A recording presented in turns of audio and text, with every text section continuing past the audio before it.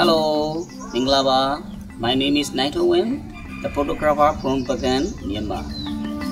Bagan, where I live, is one of the UNESCO site and beautiful landscape. Also, it's famous for its many endemic park. I had a chance to take a picture. There's Komahupo, Mia, and Dangerous bug. They used to build nests in the whole or tree. It is very difficult to take picture. One, they are feeding.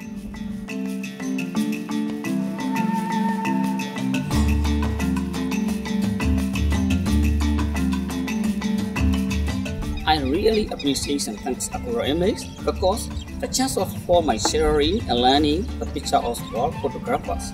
I hope to win more photo awards and thank you all. Bye bye.